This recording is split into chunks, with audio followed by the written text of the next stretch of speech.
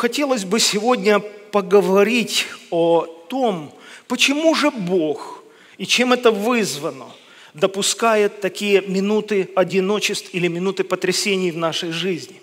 Само по себе одиночество – это очень сложная форма или состояние, в котором находится человек. Человек создан для общения, человек создан для взаимообогащения. Общение – это какое-то соприкосновение с другим человеком. Человек создан для того, чтобы черпать что-то благословенное, приятное, доброе, разумное, вечное, как когда-то выражались, и этим самым обогащаться. Каждая новая мысль, новая книга, новые откровения, новый взгляд, даже обычное рукопожатие. Ты с кем-то встретился, руки соприкоснулись. И это уже общение – улыбка, как когда-то пели такую песенку детскую, «Э, поделись улыбкой твоей, и она не раз к тебе еще вернется. Это тоже общение. Улыбнется ребенок, улыбнутся супруги друг другу, проснувшись утром, и это уже общение. Мы соприкасаемся с миром, и мы очень-очень нуждаемся в этой поддержке, мы очень нуждаемся, мы, мы социально завязаны. Мы мы вместе, мы общество. Особенно у нас, у славян, большие э, родовые кланы, много родственников. И мы ощущаем вот эту потребность, необходимость в том, чтобы много проводить времени вместе и общаться. Так создан человек. Господь сказал, нехорошо быть человеку одному. Никита Михалков в своем знаменитом фильме «12» показывает такой фрагмент, когда один знаменитый инженер в России, добившись больших успехов на своем поприще, в итоге не смог продать свои открытия, свои изобретения за границу – и советское государство в советское время закрыло эти очень хорошие, ценные открытия этого ученого. По этой причине он впадает в глубокую депрессию, начинает пить, то есть смысл его жизни потерян, его страна его предала. И он начинает много драться на улицах, он стал бомжом. И однажды в автобусе он стал зарываться к людям, чтобы просто его кто-то либо прирезал, либо избил. То есть смысл жизни остановился. Все, к чему человек стремился, все потерялось. И однажды в автобусе он стал зарываться, будучи в нетрезвом состоянии, к людям. Он был страшно одет, от него дурно пахло. И он сам рассказывает об этом и говорит, что передо мной сидела женщина с маленькой девочкой, которая сидела возле нее – и эта маленькая девочка в ужасе смотрела на этого страшного дядю и шепотом говорила маме, мама, этот дядя, наверное, сумасшедший. И эта женщина сказала своей дочери, нет, доченька, он не сумасшедший, ему просто плохо. Это был поворотный момент в жизни этого человека. На горизонте появился кто-то, кто в него поверил, кто смог разглядеть за этим внешним неустройством, за этим всем зловонием и всем ужасом смог разглядеть человеческую душу, которой плохо. Впоследствии эта женщина стала его женой, и он снова поднялся и стал снова знаменитым человеком, смог продать свои контракты за границу. И я вспоминаю слова Евгения Евтушенко. «Дай Бог, чтобы твоя страна тебя не пнула сапожищем. Дай Бог, чтобы твоя жена тебя любила даже нищим. Я об этом всем говорю, потому что мы очень социальные люди. Мы растем вместе. Нам очень не все равно, очень не безразлично, как к нам относятся родители, допустим. Когда папа говорит своему сыну, сынок, я тобой горжусь, сынок, я очень рад твоим успехам. И сын со всех сил старается, чтобы оправдать это доверие – знаете, что я понял? Что никого еще не изменил факт его вины. Мы очень часто судим и говорим людям, какие они плохие, или о людях говорим, насколько они плохие, как плохо принимать наркотик, как плохо быть пьяницей, как плохо вести аморальный образ жизни. И человек это сам знает, знает намного лучше, чем мы знаем, и страдает от этого, и мучается от этого, но он ничего изменить не может – И когда появляется кто-то, кто начинает верить в него, кто видит в нем позитивные, добрые, прекрасные, человек хочет подняться и преображаться. Не так давно мне также посоветовали, я вам рекомендую посмотреть замечательный фильм, сделанный о э, маленькой девочке, которая родилась слепой и глухой. И в ее жизни появился человек, который взялся за нее, чтобы научить ее языку, даже не жестов, я не знаю, как называется, это общение через прикосновение. Это единственный орган, который в ней оставался для какого-либо соприкосновения с внешним миром. И этот ребенок, который рос в полной темноте, в кромешной мгле внутренней, совершенно не зная и не понимая, как можно построить общение даже с родной матерью и отцом. И этот учитель прилагал огромные усилия, чтобы найти общий язык. Задача состояла в том, чтобы заговорить на общем языке. Если только появляется общий язык, и одни и те же предметы или переживания названы одними словами, происходит общение. Можно взаимообогащать друг друга своими мыслями и своими переживаниями. И это было чрезвычайно сложно. Проходили месяцы, и ничего не получалось. И однажды учителю удалось передать, что мокрое, что она прикасалась к воде, это есть вода – и однажды она поняла, что те прикосновения, которые он делал, касаясь ее ладошки, он именно пытался сказать слово «вода». Именно явление – это вода. И она касалась к воде, и потом снова объясняла ему, и потом снова касалась к воде. Третье, второе слово она произнесла «мама». Она прикасалась к женщине, которую она знала, что это мама, но она не могла передать этих чувств, что это мама. Третье слово она произнесла «папа», но не произнесла – она просто это объясняла прикосновением к руке своего учителя. И мир открылся для этой девочки. Огромный мир. Она поступила в университет. Много-много лет она училась в университете годами. Он сидел и просто, касаясь ее руки, переводил лекции, которые говорил учитель. Это невозможно смотреть без слез. Это невозможно смотреть без благодарности. Мы никогда не поймем, какой ужас одиночества переживает такой человек, для которого мир закрыт, абсолютно не существует. Он находится в абсолютном отрыве от мира. Мы родились, мы слышим, мы живем, мы соприкасаемся с людьми, плохими и хорошими, но мы, по крайней мере, знаем, что такое общение. И мы совершенно не знаем, что такое одиночество. Я сегодня говорю о том, что есть минуты, моменты, когда Бог допускает одиночество. И есть отдельные люди, как я сейчас пытаюсь привести эти примеры, которые переживали одиночество. Я говорил с человеком, который много лет провел в камере одиночки. И он говорил, можешь верить мне, можешь не верить. Но какой огромной радостью для меня было, когда в моей камере одиночки я увидел паучка, который свил паутину – я его берег как живое, единственное живое существо на протяжении многих лет, зная, что я не один. Я уже не один. Мой разум уже не мог помрачиться, потому что я уже не один. Уже в этой камере есть другое, живое существо. Я пытаюсь рассуждать об Иосифе. Человек, который родился в большой семье, который любил, несомненно, своих братьев, любил свою мать, любил отца – который хорошо учился. И в один день он понес своим братьям пропитание. И вы знаете, они бросили его в яму. И в нашей жизни есть все равно, в любом случае, какие-то ниточки, на которых мы держимся. У нас есть авторитет, у нас есть друзья, у нас есть родственники.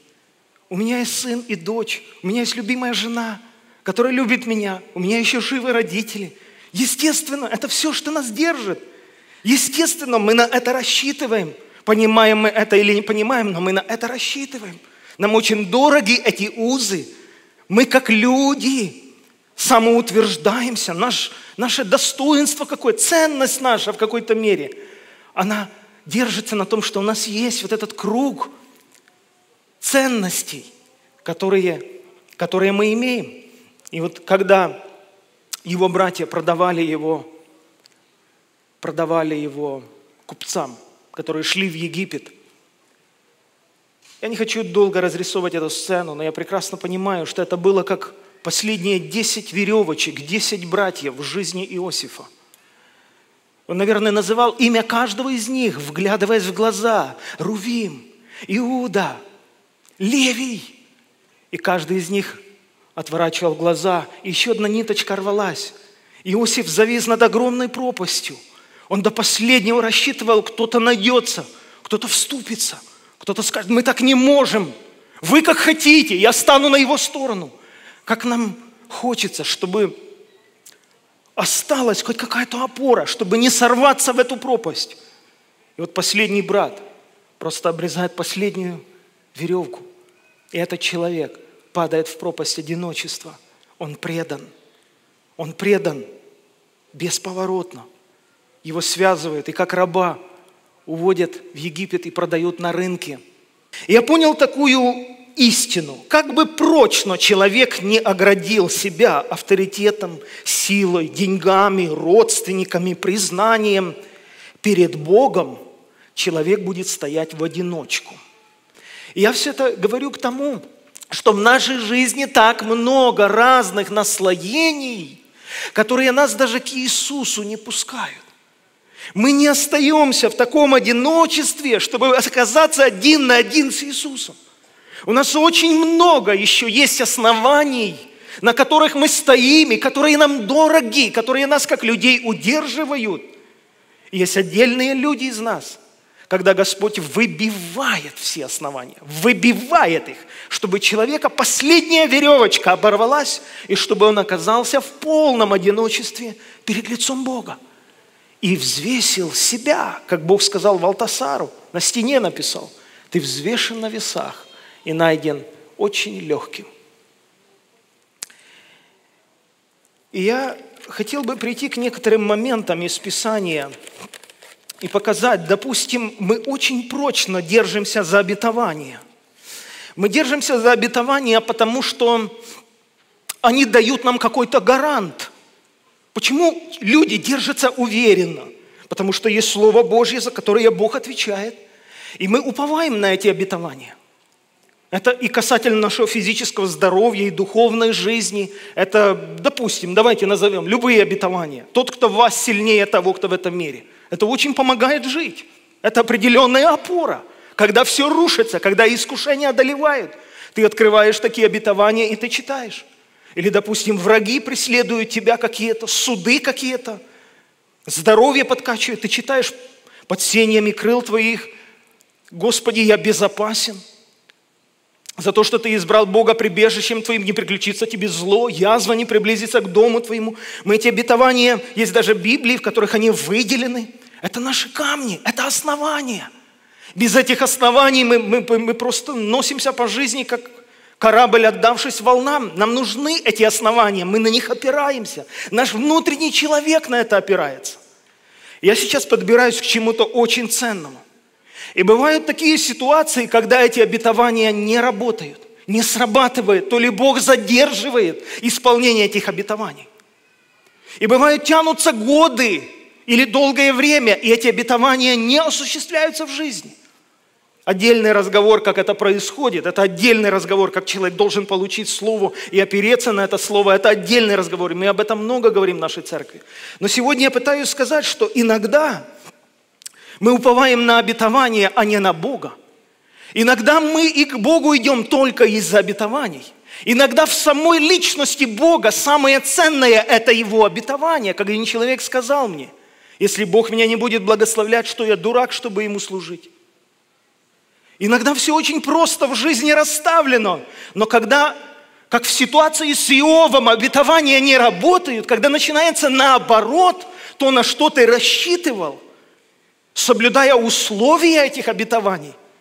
Когда наоборот, вместо благоденствия твои дети погибают, и тебя одолевают неизлечимые болезни, вот тогда наоборот как раз и проверяется, человек вообще строил отношения с Богом как с личностью или с обетованиями Божьими.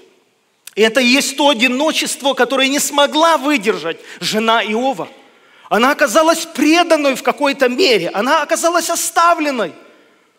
Она просто разбилась в Боге, разочаровалась.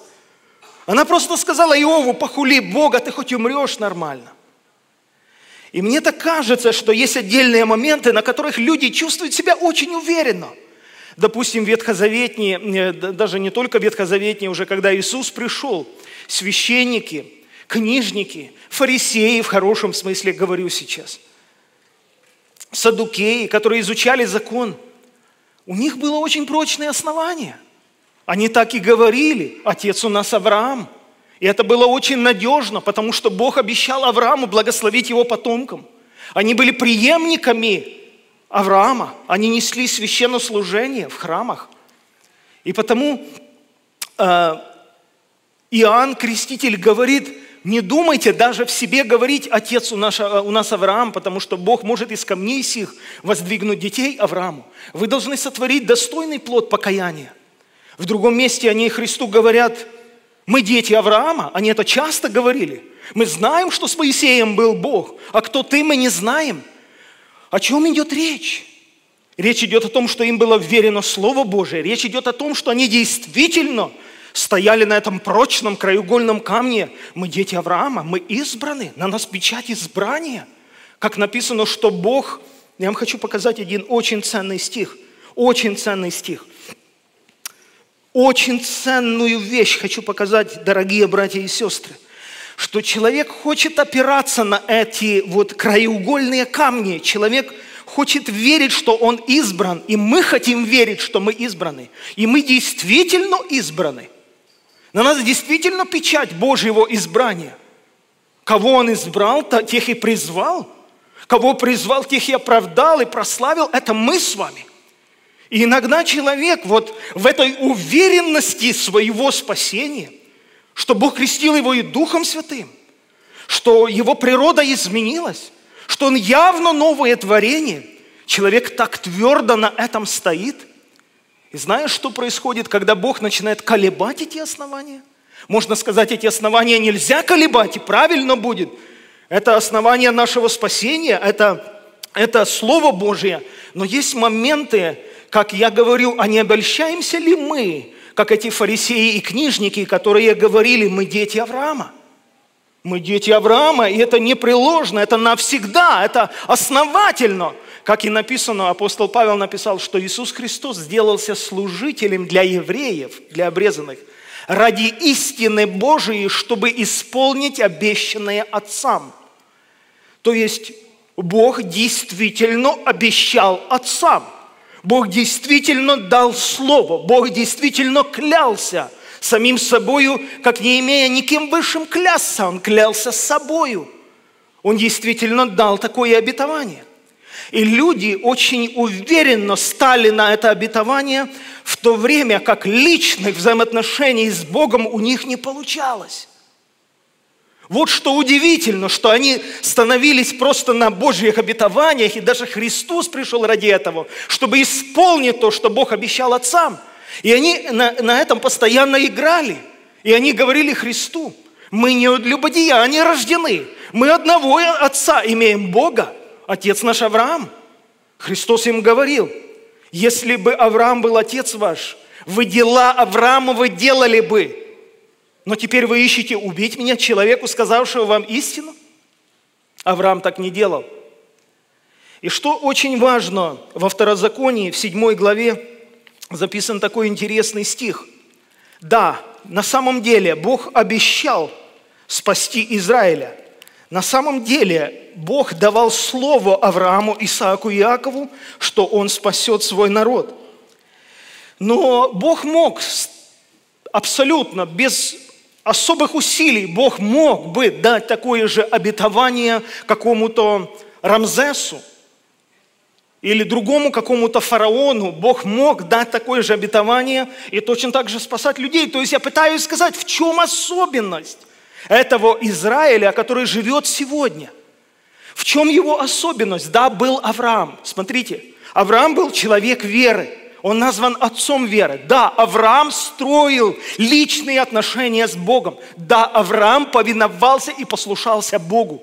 Да, Бог в завет Авраама включил всех его потомков. Да, это правда. Но проходит время, и эти потомки Авраама совершенно далеки от веры Божией, далеки от послушания, но осталось обетование. Осталось обетование, на котором они стоят – Потом во Второзаконии, в седьмой главе, шестым стихом написано так. Господь говорит к Израилю, «Ты народ святой у Господа Бога твоего, тебя избрал Господь Бог твой». Это же так приятно, это же так надежно, это же так утверждает. Тебя избрал Господь Бог твой, чтобы ты был собственным Его народом из всех народов, которые на земле. А дальше написано, не потому избрал тебя Бог, чтобы вы были многочисленнее всех народов, или принял вас Господь и избрал вас, ибо вы малочисленнее всех народов, но потому, что любит вас Господь, и для того, чтобы сохранить клятву, которой Он клялся отцам вашим. Может быть, это звучит как разочарование, может, человек хотел еще и достоинство свое как-то поднять. Господь тебя избрал для того, чтобы исполнить клятву, которую давал отцам вашим. Но не потому, что в тебе есть какое-то достоинство. И не потому, что ты еврей, отличаешься от египтянина или какого-то индуса – не совершенно не потому, а потому, что он пообещал отцам. И он теперь должен исполнить эту клятву. И вот часто мы, даже мы же говорим сегодня о нас, часто мы приходим с такой же уверенностью, с такими же обетованиями спасения, и отношения практически строятся не столько с самим Богом, как мы видим, это было у фарисеев и книжников, как просто с обетованиями, которые Бог нам дает. И дальше получается, смотрите, получается, что мы как бы часто, как люди, утверждаемся на наших достижениях, утверждаемся на нашей самоправедности. Утверждаемся, это определенное утверждение. Человек чувствует себя очень уверенно, если он не спотыкается, не падает, если он богоугодный образ жизни ведет, человек очень уверенно себя чувствует. Если же человек спотыкается, в нем эта уверенность пропадает. И иногда Бог сознательно допускает то, чтобы человек спотыкался, и человек даже падал. Сознательно допускает, чтобы разбить человеческую самоуверенность, чтобы человек понуждался в Спасителе пятый раз, десятый и сотый раз понуждался в Спасителе и был привязан Господу Богу своему, Иисусу Христу и Спасителю. Почему? Потому что Писание говорит, мы спасены не от дел, мы спасены благодатью. Хотим мы с этим соглашаться, не хотим, но мы очень часто спасаемся все равно делами. Нам как бы даже нужны, нам помогают плохие люди из-за того, что на фоне этих плохих людей мы чувствуем себя хорошо. Мы чувствуем себя достойными, мы чувствуем себя победителями. Очень часто, проверьте свое сердце, как я свое проверяю. Наша праведность очень часто возникает только в сравнении с грехами других людей. Наше достоинство как праведного человека, оно растет только на почве того, что вокруг все аморально, все распадается, а мы стоим в истине, и мы служим Господу, и ты чувствуешь себя таким уверенным, и ты даже не замечаешь, как ты утверждаешься, я сейчас о себе говорю. Пусть вы не так живете, а я себя проверяю. Потому что я говорю сейчас об одиночестве, я приду к этому. Я проверяю себя, что мы очень часто уповаем на свою праведность только потому, что я не такой, как прочие люди, убийцы, насильники или как этот мытарь. Я, я, я действительно не вру, что я не такой, как этот мытарь. Я же не вру. И от этого мне хорошо. И от этого я на ногах стою, когда молюсь, а мытарь лежит на лице своем. И от этого я руки поднимаю к Богу, а он себя кулаком в грудь бьет. И мне он помогает, этот мытарь, потому что возле него я очень хорошо себя чувствую и очень уверенно. Я даже внушил себе, что Бог меня по-другому слышит, чем его. Я же десятины приношу, я же соблюдаю все предписания закона. Я же действительно праведный человек – и что интересно, вот мы и начинаем судить. Мы же начинаем и судить о других людях. И судим о других людях, которые возле нас в меру того, как у нас получается справиться. Вот, допустим, человек употребляет наркотик. Ну, естественно, мы судим его. Ну, естественно, мы говорим, где мозги? Ну, естественно, мы говорим, такие в тюрьме должны сидеть. Естественно, мы судим. Почему? Потому что мы не знаем, в какой глубокой зависимости находится этот человек. И как он страдает, и как он мучится, и может быть, он уже несколько раз пытался из жизни уйти. Нас это по большому счету не интересует. Мы даже его не понимаем, насколько он одинок в своей проблеме. Нами не интересно понимать, насколько он одинок в своей проблеме, с которой он справиться не может. Потому что в силу того, что мы как раз не попали в сети наркомании, мы хорошо себя чувствуем, мы чувствуем себя достойными. И по этому поводу я просто хочу сказать, что иногда Господь выбивает просто из нас эту самоуверенность.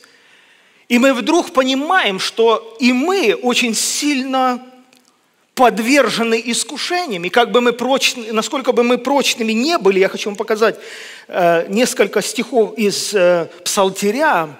Вообще, я сейчас буду очень откровенным года два назад у меня, у меня начался такой переломный момент. Э, я просто начал удивляться вообще псалмам Давида.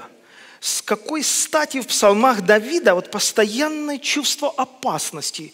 Такое чувство, что на каждой странице его кто-то преследует, какие-то враги, какие-то капканы стоят, э, его кто-то хочет убить, постоянно его окружили какие-то демоны – Постоянно он переживает какие-то атаки. Живет человек себе во дворце. Царство его прочно, у него мощная армия, у него непоколебимый авторитет в своем народе. Все его любят. О чем он пишет? Что вот это за беспокойство на каждой странице книги Псалтирь? Я даже стал себе я даже стал себе это выписывать, я стал помечать своими собственными инициалами. Почему? Я бы этого даже и не видел, как и мы многие не видим, пока не попадаем в такую же ситуацию, пока не начинаем переживать что-то аналогичное, как будто обрывается какая-то ниточка, как будто ты можешь быть отверженным от очей Божьих, как будто тебе угрожает – сорваться в пропасть, как будто все твои доспехи сейчас тебе уже не помогут, и все твои успехи жизненные, и все обетования, которые у тебя есть, они могут не сработать, и ты обрываешься, потому ты хватаешься за последнюю ниточку, милость. Милость, ты больше не говоришь, ты, ты перестаешь говорить о достижениях. Ты никого не можешь позвать на помощь. Ты никому даже рассказать не можешь, что, через что ты проходишь и как тебе трудно. Ты начинаешь человеку рассказывать, а он просто тебя не слышит. Он тебя не слышит. Он ушами слушает, но он тебя не слышит, где ты находишься. Я стал отмечать просто и удивляться, что Давид проходил такие вещи. «Обратись, Господи, избавь душу мою, спаси меня ради милости Твоей». Кто за ним гонится? Что за мания преследования? Что это? О чем он пишет? «Избавь душу мою ради милости Твоей». Услышал Господь моление мое. Господь примет молитву мою. А что, он не слышит его молений? Откуда такая радость? Почему он за это как бы цепляется? Дальше, вот я просто так, вот я даже не думал это говорить. Да не скажет враг мой, я одолел его. Ты держишь жребий мой. Дальше вот мы листаем Библию, допустим, мы приходим к 29-му псалму. Смотрите, 29-й псалом, 7 стиха. «Я говорил в благоденствии моем, не поколеблюсь вовек». По благоволению Твоему, Господи, Ты укрепил гору мою. Но Ты сокрыл лицо Твое, и я смутился. Как интересно, Давид обнаруживает в себе такие переживания. Когда все было хорошо, он говорит, в благоденствии. Такая вера внутри. Просто столько много веры. Я вовек не поколеблюсь. Почему? Да потому что с Богом хожу, потому что Богу угождаю. И человек говорит и не врет, правду говорит, правду чувствует столько в себе веры. Не поколеблюсь вовек. Дальше он говорит, а даже не понимал, что ты сам укрепил эту гору мою. Но когда ты лицо сокрыл твое, я смутился. Тогда к тебе, Господи, взывал я, и Господа умолял, что пользы в крови моей, когда я сойду в могилу, будет ли прах славить Тебя, будет ли возвещать истину Твою. Как человек меняется. Почему? Бог сокрыл лицо свое. Бог сокрыл лицо свое. Есть минуты, о чем пишет Иеремия, говоря Богу, ты преграждал молитву мою. Я молюсь, я кричу, я ищу, я зову, а Бог преградил молитву. А молитва не достигает его. Я задаю вопрос, зачем? Я не говорю, за что. Я не, не ставлю вопрос, за что, Господи, такое с Иосифом? За что такое Давиду? Я задаю вопрос, зачем? Зачем ты это делаешь? Наверное, чтобы человека привязать к Господу, и чтобы человек почувствовал эту зависимость от Бога, настолько сильную внутреннюю потребность в Боге. В чем ужас преисподней, в чем ужас ада состоит? Я раньше не соглашался с некоторыми богословами, которые утверждали, что ад страшен не огнем и не червями, которые там не умирают. Ад страшен отсутствием Бога. Ну, трудно было как-то понять. Страшно то, что доставляет страдания. Страшно, когда ты будешь находиться в мучениях постоянных. Но некоторые люди, я читал некоторые их труды, заметки, они говорили, страшно, когда молитва твоя не достигает. Страшно отсутствие Бога. Страшно, когда Самсон проснулся и говорит, встану, как прежде, пойду и сражусь с филистимлянами. А не знал, что Господь отступил от него. Что самое интересное, он давно от Господа отступил, и он не ощущал вот этой потребности в Боге. Он не ощущал, он пользовался обетованиями, он пользовался своим назарейством, он пользовался даже дарами Божьими. То самое, о чем говорит Библия. Многие придут и скажут, Господи, не Твоим ли именем мы бесов изгоняли? Не Твоим ли именем мы мировые служения устраивали? Не Твоим ли именем мы просто мертвых воскрешали? Он скажет, отойдите от меня, я вас никогда не знал. Я сегодня задаю вопрос, как же так может быть, что Самсон отошел от Бога давно и не замечал этого? пока Господь не отступил от него. В 30-м псалме здесь написано, сразу дальше, Давид пишет, «На Тебя, Господи, уповаю, да не постыжусь вовек, по правде Твоей избавь меня». Преклони ухо твое, поспеши избавить меня. Кто так просит? Ну, если человек, ну, не знаю, там, пальцы в дверь зажало, вот так человек кричит. Помогите, пожалуйста. Но ты понимаешь, что человек что-то случилось. Избавь меня, поспеши, поторопитесь, скорее. Человеку плохо. Вот так Давид молится. Что это за ощущение? Будь мне каменную твердынею, домом прибежища, чтобы спасти меня. Ты каменная гора моя, ты ограда моя. Ради имени Твоего води меня и управляй мною. Выведи меня из сети, которую тайно поставили мне, ибо ты крепость моя. В Твою руку предаю дух мой. Ты избавлял меня, Господи Боже, истины. Восьмой стих. Буду радоваться и веселиться о милости Твоей, потому что Ты презрел на бедствие мое, узнал горесть души моей и не предал меня в руки врага поставил ноги мои на пространном месте. Помилуй меня, Господи, ибо тесно мне. И сохла от горести око мое, душа моя и утроба моя. И сохла от горести глаза мои, душа моя и утроба моя. Так о чем он молится? Конкретно. Ну, если бы мы понимали, что там Давид, Саул его поймал, что завтра утром будут его казнить, что Давид болеет там, ну не знаю, какими сильными болями какими-то. Ну было бы понятно, о чем он молится. Никаких врагов нет вокруг. Что за потребность внутренняя? Избави меня. Будь горою моею. Сокрой меня. Услышь молитву мою. Что это за внутреннее состояние Давида? Дальше он говорит. И истощилась в печали жизнь моя. Лета мои в стенаниях. Годы человек находится в состоянии стенания. Изнемогла от грехов моих сила моя, и кости мои иссохли. Это что, он как бы постоянно грешит? Изнемогла от грехов моих сила моя, и кости мои иссохли. От всех врагов моих я сделался поношением даже у соседей моих, страшилищем для знакомых моих. Видящие меня на улице убегают от меня. Я забыт в сердцах, как мертвый. Я как сосуд разбитый. Он не обманывает, он пишет правду. И он рассказывает это одиночество своей души, когда он не может выбраться.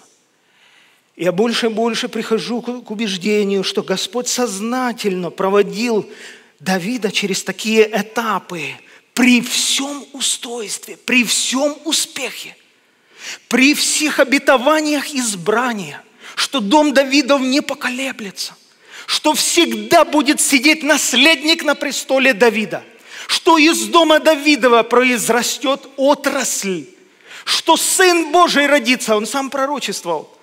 А что же за страдания у человека? А Господь привязывает его, забирая в нем вот это все упование, на что он бы мог 10 раз опереться. В сто раз больше, чем мы мог опереться. И вот эта внутренняя потребность, как будто вот почва уходит из-под ног. Как будто Господь прирождает молитву. Грехи и искушения одолевают, и человек проваливается в пропасть, пока благоденствие, не поколеблюсь вовек. А как только вот Бог лицо сокрыл, и я смутился, и уже не помогает ничего. Я раньше садился, читал сотни писем. Когда мне тяжело было, я доставал все отзывы людей. И я читал и говорил, Александр, смотри, как Бог благословляет твое служение, сколько людей. А приходит время, вы знаете, ни на что опереться не получается. Приходит время такое внутреннего просто обрыва, как будто последние ниточки обрываются. И остается только милость, остается только то, о чем говорит Давид. Милость Твоя, Господи, лучше, нежели жизнь. Книга пророка Осии, вторая глава. Только послушайте очень внимательно, это очень интересно и очень ценно. Бог обращается к своему народу. Ибо блудодействовала мать их. Речь идет о духовной измене, понятно, Израиля, Богу. Блудодействовала мать их и осрамила себя, зачавшая их. Ибо говорила, пойду за любовниками моими, которые дают мне хлеб и воду, и шерсть, и лен, и елей, и напитки. Вопрос, кто, кто, кто дает тебе? Ну, любовники дают мне все это. Зато вот я загорожу путь ее тернами и обнесу ее оградою, и она не найдет стезей своих. То есть я создам такие условия, что она окажется в полном одиночестве. И погонится за любовниками своими, но не догонит их. И будет искать их, но не найдет и скажет – пойду я и возвращусь к первому мужу моему, ибо тогда лучше было мне, нежели теперь. И не знала она, что я, я давал ей хлеб и вино, и елей, и умножил у нее серебро и золото, из которого она сделала истукана вала. Зато я теперь возьму назад хлеб мой в его время, то есть когда он так нужен и вино мое в его пору. И отниму шерсть и лен мой, чем покрывается нагота ее.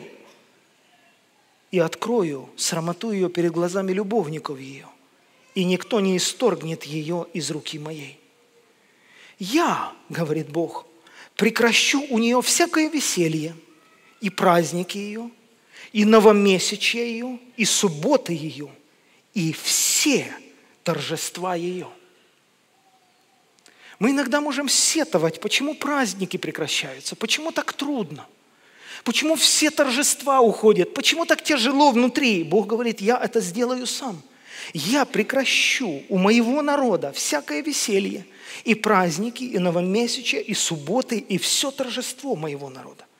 И опустошу виноградные лозы ее, и смоковницы ее, о которых она говорит, это у меня подарки, которые надарили мне любовники мои. И я превращу их в лес, и полевые звери поедят их и накажу ее за дни служения валом, когда она кадила им, и, украсивши себя серьгами и ожерельями, ходила за любовниками своими, а меня забывала, говорит Господь. Вы знаете, есть минуты, я заканчиваю, когда Бог наоборот говорит, речь идет об одном и том же народе, об Израиле, Божьем возлюбленном народе. Есть минуты, когда Бог говорит, я одену ее в нарядные одежды, я дам кольцо в нос ее – я дам ей самую дорогую обувь. Слава дочери царя внутри ее. Я подниму ее достоинство. Есть минуты, когда Бог говорит, я заберу ее золото. Почему? Потому что она теперь понадеялась на красоту свою. Она понадеялась на богатство свое. Она весь успех, все благословение, все обетования, которыми я благословил ее жизнь, она сделала своей собственной опорой и своим собственным достижением, и своей собственной самоправедностью. И она теперь как будто может жить без меня. Вот я теперь все заберу, вплоть до праздников, вплоть до внутреннего самоудовлетворения, вплоть до внутреннего достоинства. Я все заберу. Я заберу даже то, чем покрывается ее нагота. Она останется обнаженной просто в грехах своих. Я это все заберу. Вот я, 14 стих, увлеку ее и приведу ее в пустыню. И там буду говорить к сердцу ее. И дам ей оттуда виноградники. И будет в тот день, говорит Господь, ты будешь звать меня муж мой, и не будешь более звать меня господин мой – Вали переводится «господин мой». Не хочет Бог таких отношений. Господин. Ты будешь звать меня муж мой. И удалю имена Ваалов от уст ее, и не будут более вспоминаемые имена идолов. И обручу тебя мне навек, и обручу тебя мне в правде и суде, в благости и милосердии и обручу тебя мне в верности, и ты познаешь Господа. И будет в тот день, я услышу, говорит Господь, я услышу небо, и небо услышит землю, и земля услышит хлеб и вино, и елей, а эти услышат Израиль. И посею ее для себя на земле, и помилую непомилованную, и скажу не моему народу, ты мой народ. А он скажет, ты мой Бог. Я стал размышлять, что же такое истинная вера, когда мы веруем в обетование, когда мы веруем в успех, когда мы веруем в себя, когда мы веруем в свою способность и силу одолеть искушение, когда мы веруем, что не поколеблюсь вовек, можно ли это называть верой? И я понял, что вера, друзья, это то, что не ставит Богу условий, не ставит Богу ультиматумов. Это то, что отдается в руки Бога, что способно принимать от Бога даже злое, веруя в то, что это во благо. Как сказал Иов, что Иов вас спасло? Когда он сказал, разве мы должны принимать от Бога только доброе, а злого принимать не должны – Дальше написано, сказав это, Иов не погрешил устами своими. Я хочу сказать к тем людям, которые сейчас проходят такое сложное время, когда у вас так много злого в жизни, так много сложного в жизни, так много того, с чем вы не можете справиться, так много того, где вы одиноки, и вы, кажется, нет выхода из ситуации.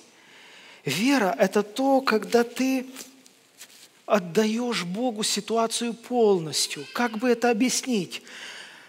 Я недавно посещал одну семью на прошлой или позапрошлой неделе, и там больная девочка раком. И я в который раз ехал в этот дом, и в который раз молился, молился слезно, Господь, что сказать этим людям? Что сказать этой матери, прекрасной женщине, которая не отходит от кровати своей 17-летней дочери? И вы знаете, ей пришло слово. Какая радость, когда приходит от Бога слово. Оно пришло в мое сердце. Скажи ей о вере. Но не о вере, когда мы, сжимая кулаки, верим, что все будет хорошо. Верим, что она выздоровеет. Верим, что Господь благ. Скажи ей о вере Сидраха, Месаха и Евдинага. Я сказал, что это, Господи? Бог сказал, скажи ей об этой вере. Когда они сказали, даже если мы сгорим в огне, то сгорим. Но Бог силен и, от огня нас избавить. Это не меняет сути – мы истукану Твоему не поклонимся, мы все равно исповедуем и признаем Бога хозяином, который может спасать из печи. Но, повторяю второй раз, если даже мы сгорим в этой печи, и вы думаете, это легко сказать, матери, которая три года не отходит от постели своей дочери, три года молится. Но это как раз и есть вера, когда я ей объяснял это. Я раз за три заходил, я говорил, я хочу, чтобы мы убедились, что мы говорим об одном. Отдайте ситуацию Богу. Она говорит, она умрет. Я говорю, я этого не сказал, но я много раз убеждался, когда человек отдает ситуацию Богу, приходит развязка ситуации.